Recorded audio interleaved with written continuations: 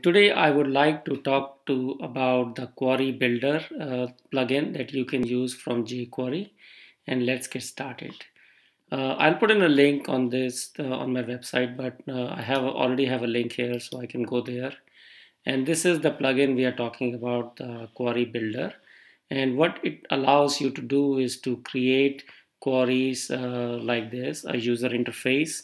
And uh, you can use this to create uh, either a query that can be simply passed using JSON or uh, MongoDB queries or even SQL queries.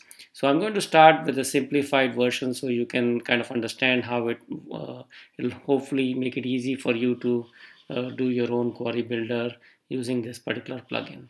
So let's get started.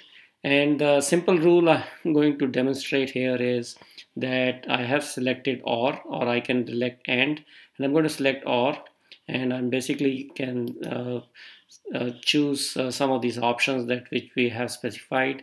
And let's say I just say it doesn't uh, does not contain Gaur and I have a name not equal to as and I can add as you can see another rule here. And name uh, is the only one I'm demonstrating and let's say this is just called yogi. So I have this set of rules and if I just click on apply it's going to create a JSON for me. And uh, let me just clear this so we can just see that. So here you can see the condition I got was and sorry I had and instead of or. And the rules is just a set of three arrays. And here you can see I have an operator which says not contains operators not equal and operator equal. So you can pass this json and create whatever search rules you want to create. So let me just kind of show you the code that you need to use. Uh, basically uh, all I've done is uh, just uh, have a button where I call when I um, have an apply and I call this function to get the JSON. And all I need here is the jQuery. As you can see the jQuery is there. I uh, use the bootstrap. So bootstrap is here and I would recommend using just the query builder standalone JavaScript so that you won't have to worry about getting all the dependencies and everything else. And this is what I've done. And I have a little app.js file. Uh, let me just show you what is in the app.js files. It's pretty straightforward. I have a set of options and I can uh, provide uh, the plugin the query builder here and give it those options and uh, I'm starting very simple here so you kind of know which options to use. Basically is the most basic filter and the type is going to be just a string and I put in a default value of Gaur and this is all you need. And filters is an array so you can add more filtering options if you want to.